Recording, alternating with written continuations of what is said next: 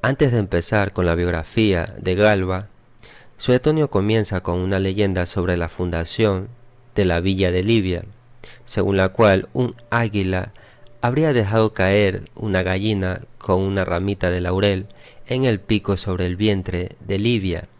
Recomendado por adivinos, Livia crió el ave y llegó a plantar las ramitas para crear un bosque del cual los emperadores recogían las ramitas para tenerlas en la mano durante las batallas.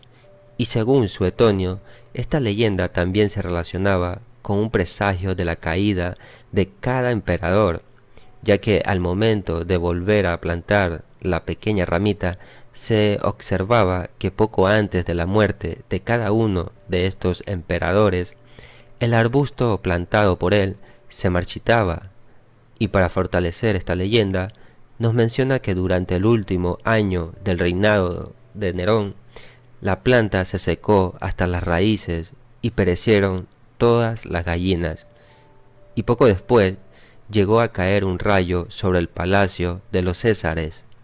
Para dejar claro sobre los orígenes de Galba, Suetonio menciona que el futuro emperador no tenía ningún vínculo con la dinastía Julio-Claudia, pero que pertenecía a un linaje noble y antiguo como ilustre, y Suetonio enumera diferentes versiones asociadas a sus orígenes, según uno fue por haber incendiado con antorchas embadurnadas de galvano una ciudad de Hispania que había resistido un largo sitio, según otros, porque en una enfermedad crónica utilizó a menudo el galbeo, que se aplicaba ordinariamente envuelto en lana.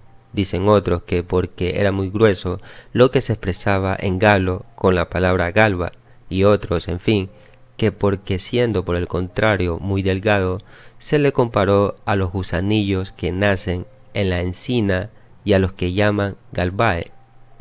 Ninguna de estas versiones se considera plausible en la historiografía. El crecimiento de esta familia comienza en el consular de Servio Galba, que fue el varón más destacado y elocuente de su tiempo. Fue enviado a España después de su pretura haciendo pasar en ella a lo que dicen a treinta mil lusitanos a cuchillos por traición, lo que fue causa de la guerra de Viriato. Irritado su nieto al ver que rechazaba el consulado de Julio César, cuyo legado había sido en la Galia, tomó parte en la conspiración de Casio y Bruto, siendo condenado por este hecho en virtud de la ley. De este proceden el abuelo y el padre del emperador Galba, el abuelo más ilustre por sus trabajos que por sus dignidades, no ascendió de la pretura y fue autor de una obra histórica bastante voluminosa y no carente de interés. En cuanto al padre, después de haber sido cónsul, fue abogado laborioso, aunque medianamente elocuente, era bajito y jorobado. Tuvo por primera esposa a Mumia Acaica, nieta de Quinto Lutacio y bisnieta de Lucio Mumio el que destruyó Corintio. Se casó después con Livia Ocelina, tan rica como hermosa, diciéndose que le solicitó ella misma a causa de su nobleza y con más ardor, aún desde el día en que, estrechado por su súplica, separó sus ropas y le mostró su deformidad, para evitar que después le acusase de haberla engañado. De Acaica tuvo dos hijos, Cayo y Servio. Cayo, el mayor de los dos, fue cónsul y se suicidó cuando Tiberio le negó el cargo de procónsul. Servio Sulpicio nació en el consulado de Marco Valerio Mesala y Lucio Léntulo, y siendo un niño, Servio Sulpicio se encontró con Augusto, y Suetonio lo menciona así. Cuando Galba lo saludó como un niño entre sus pares, le peñiscó la mejilla y le dijo, y tú pequeño, probarás el poder. La madre de Galba murió pronto o se divorció, en cualquier caso, el padre de Galba se casó por segunda vez, como mencioné, con la señora Livia Ocelina. Esta matrona adoptó a Servio, quien según Suetonio desde entonces, hasta que fue proclamado emperador, llevó el nombre de Lucio Livio Ocela. No hay un consenso completo en las fuentes sobre el segundo nombre de Galba. Las téseras fechadas en su año consular llevan el nombre de Lucio Sulpicio, mientras que en las monedas acuñadas en Egipto durante su reinado lleva el nombre de Lucio Livio Sulpicio. Durante su juventud, Servio Sulpicio pasaba todos los veranos en Tusculum y estudió las ciencias nobles, incluido derecho. Livia, viuda de Augusto y madre de su sucesor Tiberio, distinguió a Galba por su misericordia y según Suetonio le legó la enorme suma de 50 millones de sestercios, pero como en el testamento esta cantidad estaba anotada solo en cifras y no duplicada en palabras, Tiberio redujo el legado a 500 mil, aunque este dinero, como muchos otros legados de la difunta emperatriz, nunca fue entregado. Con la excepción de Nerón, los otros miembros de la dinastía Julio Claudia parecían respetar a Galba, ya que le permitieron ocupar ciertos cargos públicos y ascender rápidamente hasta llegar a convertirse en el gobernador de África.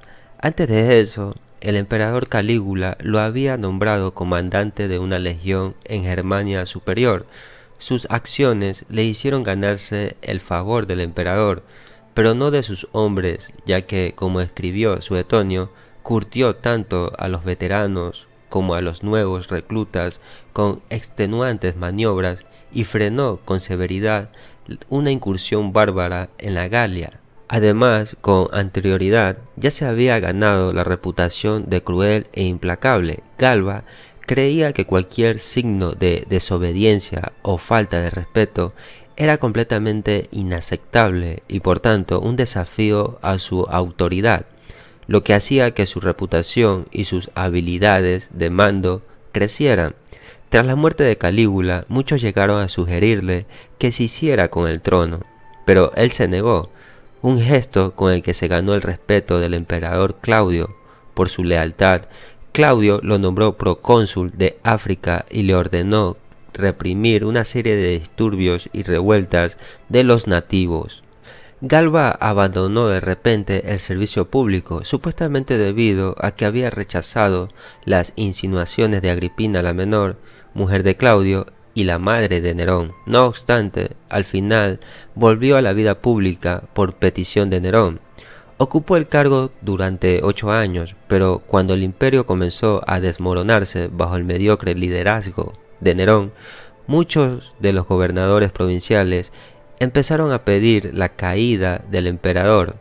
Para derrocar a Nerón, Marco Salvio Otón, gobernador de Lusitania, y Cayo Julio Vindex, uno de los gobernadores de la Galia, recurrieron a Galba, Suetonio escribió, llegaron mensajeros de Roma con la noticia de que también Nerón había muerto y de que los ciudadanos le habían jurado obediencia, por lo que él abandonó el título de gobernador general y asumió el de César. Además, a Galba también lo motivaban los rumores que aseguraban que Nerón había pretendido asesinarlo. Suetonio menciona que el ascenso de Galba al trono no fue del todo popular, su poder y su prestigio eran muchos mayores cuando asumió el poder del imperio que después, a pesar de ofrecer suficientes pruebas de su capacidad de gobierno, consiguió menos elogios por sus buenos actos que reproches por sus errores. ¿Cuáles errores? Suetonio añadió. Sentenció a muerte a hombres de todas las clases sociales sin juicio y ante el más mínimo indicio aunque donde provocó el mayor odio fue en el ejército. Galba exigió tributos a muchas de las ciudades que él había conquistado y se quedó con ese dinero. Del mismo modo, incautó los donativos que Nerón había otorgado a muchas personas y una vez recuperados, no los destinó a sus tropas. Este acto le hizo enemistarse con sus propios hombres. Además, ya no destinaba dinero para espectáculos, como las luchas de los gladiadores, y esto para los ciudadanos de Roma, que habían celebrado la muerte de Nerón, lo consideraron un despilfarro. Esto provocó que comenzaran a surgir rumores de malestar en muchas de las provincias, entre ellas Germania. Dado que ya había alcanzado los 70 años y su posición en el trono era frágil, Galba adoptó a Lucio Calpurnio Pisón Liciano como su hijo y heredero, un acto que indignó a su partidario llamado Otón, que se había considerado a sí mismo como el legítimo heredero. Sin ninguna alternativa y con el apoyo de las tropas, Otón sobornó a la guardia pretoriana, que no era especialmente leal a Galba, y así Otón dio la orden que asesinaran a Galba junto a Pisón en el foro romano. Suetonio nos dice que Galba exclamó, ¿qué hacéis compañeros? Soy vuestro como vosotros míos. Además Suetonio menciona que incluso les prometió un donativo.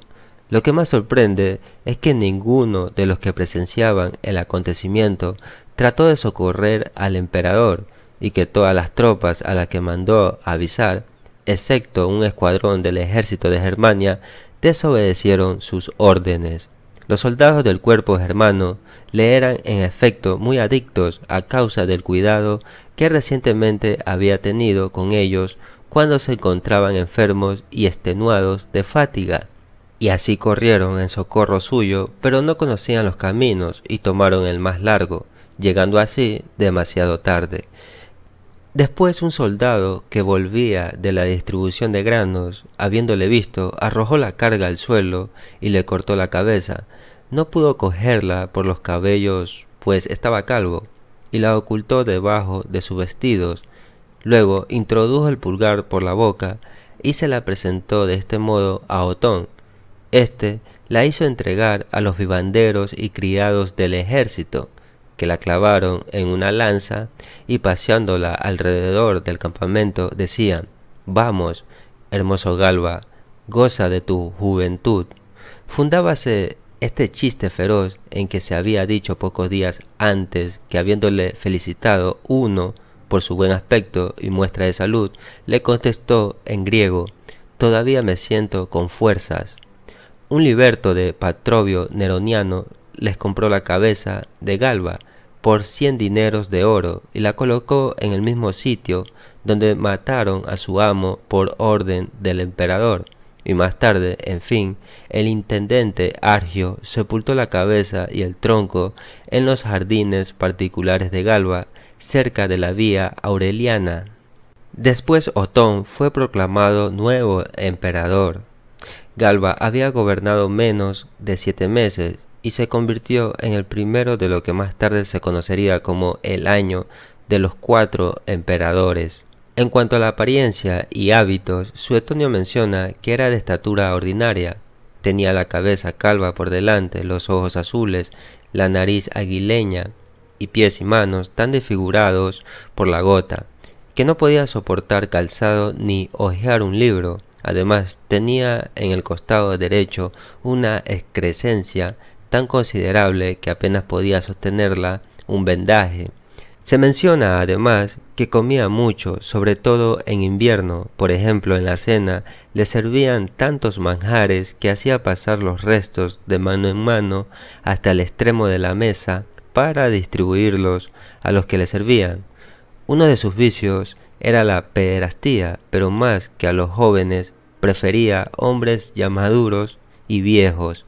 Por ejemplo, cuando uno de sus antiguos compañeros de desórdenes llegó a España para anunciarle la muerte de Nerón, se dice que no contento con besarle indecentemente delante de todos, le hizo depilar enseguida y se lo llevó a solas consigo. Finalmente Galba pereció a los 73 años de edad, después de siete meses de reinado, el Senado le decretó, en cuanto pudo, una estatua que debían colocar sobre una columna rostral en el mismo paraje del foro donde fue asesinado. Vespasiano revocó, sin embargo, este decreto, convencido de que Galba había enviado de España a Judea asesinos encargados para darle muerte.